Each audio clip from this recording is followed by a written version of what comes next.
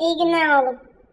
Oğlum bu ceyran faturası bizim eve yanlış gelmiş. Çünkü bu fatura bizim alt tarafta bir fabrika var.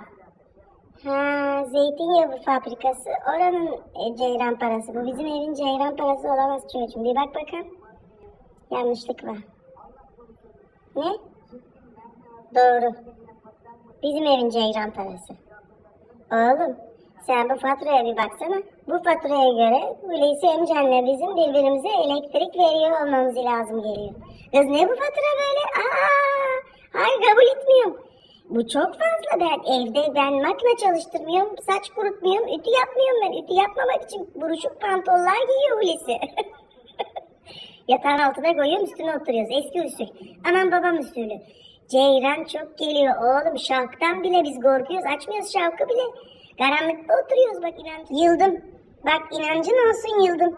Kim bulduysa bu elenteriyi Ceyran'ı? Keşke bulmayaydı. Kim buldu? Edison mu buldu? Hayır. Nerede Edison buldu?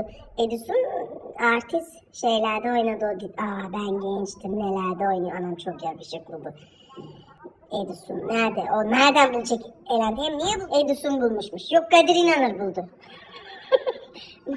Deli misin oğlum sen? Hayır Edison nereden bulacak? Emme kim bulduysa yatacak yeri yok. Onu cehennem alsın yer yutsun.